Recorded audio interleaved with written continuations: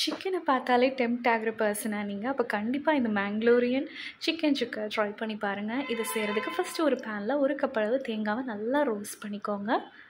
So இந்த தேங்காய் அளவு பார்த்திங்கன்னா பாதி அரைக்கிறதுக்கு கொஞ்சம் கடைசியில் நம்ம சிக்கனில் ஆட் பண்ணுறதுக்கு ஸோ அதுக்கேற்ற மாதிரி அளவு ஆட் பண்ணிவிட்டு நல்லா ரோஸ்ட் பண்ணி எடுத்து வச்சுக்கோங்க.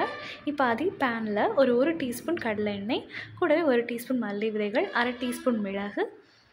இது கூடவே கொஞ்சோண்டு வெந்தயம் ஆட் பண்ணிக்கோங்க. ஒரு கால் டீஸ்பூன் கம்மியாக அடுத்தது ஒரு அரை டீஸ்பூன் சோம்பு அரை டீஸ்பூன் ஜீரகம் ஆட் பண்ணிக்கலாம். இது கூடவே ஒரு பட்டை மூணு கிராம்பு ரெண்டு வரமிளகாய் ஆட் பண்ணிவிட்டு நல்லா ரோஸ்ட் பண்ணி விட்டுக்கோங்க. இது நல்லா கலர் சேஞ்ச் ஆகணும்.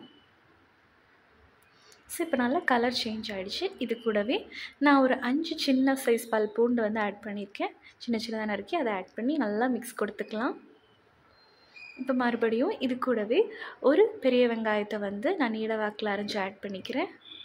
இப்போ இது நல்லா வதங்கட்டும். வதங்கினதும் இது கூடவே கொஞ்சோண்டு மஞ்சள் தூளை ஆட் பண்ணிக்கோங்க.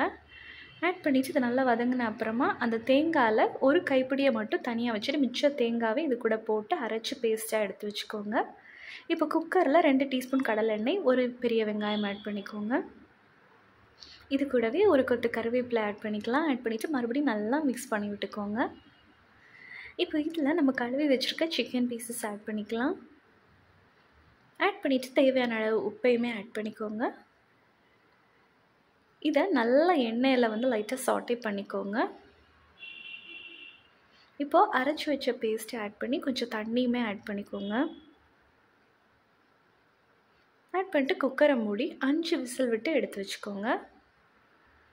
இப்போ அஞ்சு விசில் விட்டு அப்புறம் வந்து நல்லா அந்த பவர் ரிலீஸ் ஆன அப்புறமா இதில் இது வந்து திரும்ப மறுபடியும் ஸ்டவ்வை ஆன் பண்ணிவிட்டு இந்த தேங்காய் நம்ம வறுத்து வச்சுருந்ததில் மிச்சம் இருந்ததை ஆட் பண்ணிவிட்டு நல்லா மிக்ஸ் பண்ணிக்கோங்க. அந்த தண்ணி கொஞ்சம் நல்லா ட்ரை ஆகணும். இப்போ இது கூடவே கொஞ்சம் கொத்தமல்லி இலைகள் தூவிக்கலாம்.